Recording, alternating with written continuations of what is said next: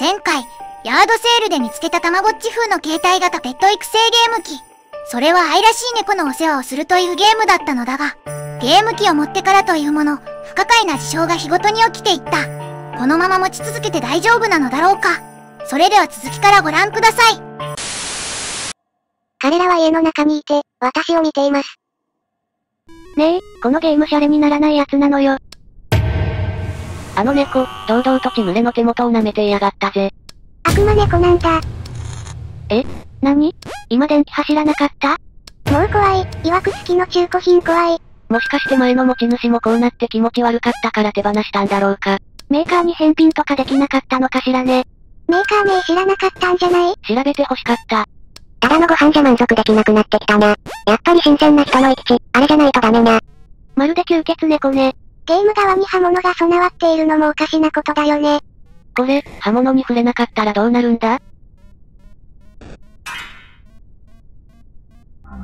込んだ。あからさまに機嫌が悪そうだったわね。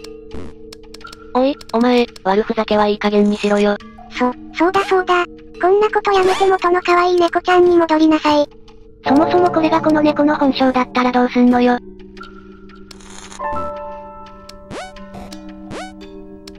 お、おい、なんか背景の部屋が一層暗くなってないか。確かに、観葉植物が全然見えなくなっている。いやいや、暗くしたのはこの猫じゃないわよね。こ、この家の人が部屋の明るさを落としたんでしょう。たびたび映る猫の目みたいなのも気になるね。お前のことを見ているぞとでも言っているようだわ。ほらさっさと血をよこすのな。何をやっても楽しそうにしなくなったね。ほんとだ、血を与えても無表情だぜ。何この目。猫の目か？どこから入ってきたんだ？クリックしても何の反応もないわ。何も起きないことを願うしかないのか。じゃあ、口が、どうなってんだ？この口のでかさは。全然可愛くないわ。悪魔猫、上手な飼い方。絶対出てこないと思う。いつの間にか目玉もいなくなっているし部屋は真っ暗だし、猫は可愛くないし、不満点しか出てこねえな。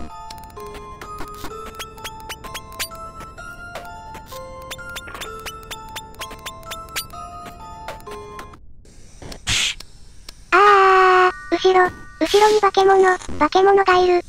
おい、世話どころじゃねえぞ。なんなのよこの顔面、猫なの、悪魔なの。対処方法がわからない。どうすればいいんだ。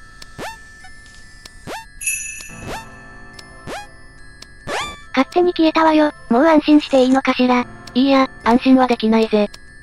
彼女はベールを通って戻ってきます。彼女をどんな犠牲を払ってでも止めなければならない。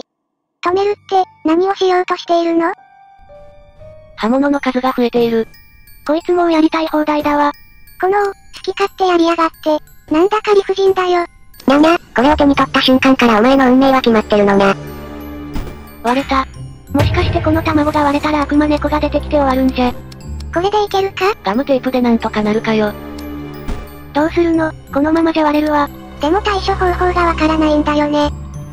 バベットは古代人だ。終わりましたか？扉が開いている。バベッテは幸せです。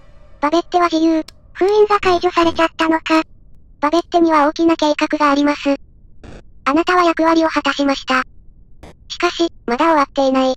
おやすみなさい。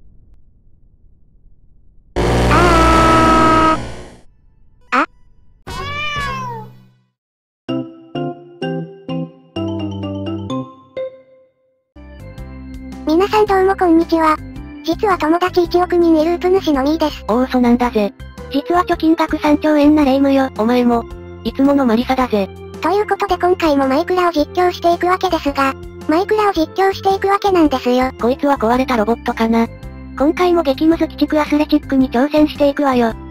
ウプ主が、が、頑張るぞ。まず最初はこの雲の筋獄の一本道を攻略していくよ。くー、腹立つわね、このクモの巣。少しでも体に触れたら速度がガクッと落ちるんだぜ。ぬー。誰よ、この道をクモの巣だらけにしたやつ。今出てきたら殺虫剤ワンプッシュで済ませてあげるわ。絶対出てこねえと思う。このコース前回からやっているんだけど本当に難しいよ。ガスバーナー持って走ったらどうよ。危ねえだろうが。おお、飛び越えた。ちょ、これいい感じじゃない。いやいやまだいけるぞ。まだいけるんだ。全然余裕さ。うわー、めっちゃ惜しい。ゴールはもう目の前じゃない。思ったんだけどさ。うまくジャンプすればクリアできるんじゃね。今更気づいたのかよ。なるほど、そうだったのか。こいつも、わかっちゃいるけど難しいねどこのタイミングでジャンプするかが重要だろ。早すぎてもダメだし、逆に遅すぎてもダメなのよ。この絶妙な加減が難しいね。悩んでても仕方ない。行くぞー。いけー。よし、順調だぜ。ジャンプのタイミング。一瞬成功したと思っただろ。うわー、出だし最高に良かったのに。よし、気を取り直していくぞ。なるべくクモの巣に捕まらないようにな。大丈夫、まだいけるわ。ここからここから。よし、いい感じだぜ。うわー、捕まったー。あと5秒。間に合えー。よっしゃー。や、やっとあの雲の筋獄を攻略できたわ。めっちゃハラハラしたんだぜ。ってことで今日はこの辺で、次ー。え、ちょ何このコース？なんだろう、どう攻略したらいいのかな？おそらくあそこまで飛んでいかないとダメだよな。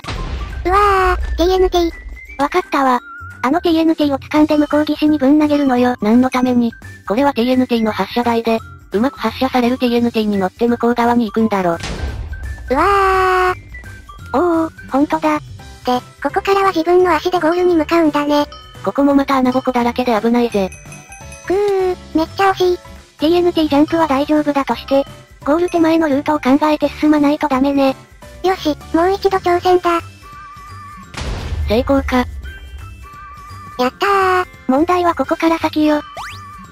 私ここまでやってきて気づいたことがあるんだけど、制作者さんってド S だよね。ええ、こんな鬼畜コースなんてそうそう思いつかないわよ。このジャンプ台だってすげえ登りづらいもんな。人間を苦しめるありとあらゆる手段を知ってそう。ここは何としてもクリアしてやりましょう。ああ、コツさえつかめばクリアできそうだ。それでは行くぞ皆の衆。届けー。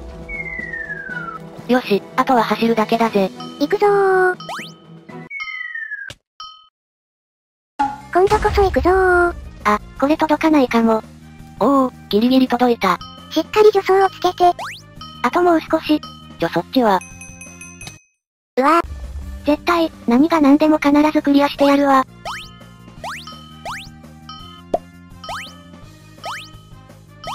ぐはー。さあさあ84回目の挑戦です。あ、やばい距離足りなかったかも。一番遠いところに着地できたぜ。うぷ主、ここからが勝負よ。了解、集中集中。やったー。長い戦いだったわ。ああ、本当にクリアできてよかったぜ。よっしゃー、この調子で行く。ちょっと何よ、このコース。スタートしたら真っ暗で何も見えないじゃない落ちる瞬間にコースの形状を記憶するしかないんだぜ。散歩歩いたら忘れちゃううぷ主に記憶させろって。コケコッコー。乗らんでいい。たくしょうがねえ。これがこのコースの地図だぜ。えー、っと、最初に3回ジャンプが続くのか。その後は右に曲がって左に曲がるのよ。この先また右に曲がったらジャンプするんだぜ。よし、ゴールはもう目の前だ。二人ともありがとう。特上うなぎおごりね。あれ、もう全クリじゃなかったっけ？そうね、全クリね。まだあるわ。これもまた鬼畜だね。見ているこっちもヒヤヒヤするぜ。だんだん足場が狭くなっていく。足場が狭くなってないと思えばなんてことないわよ。思えねえよ。このコースはタイミング命だな。あと、助走のつけすぎには要注意だね。慎重に慎重に。問題はここからよ。焦らないようにね。さあ最難関来るぜ。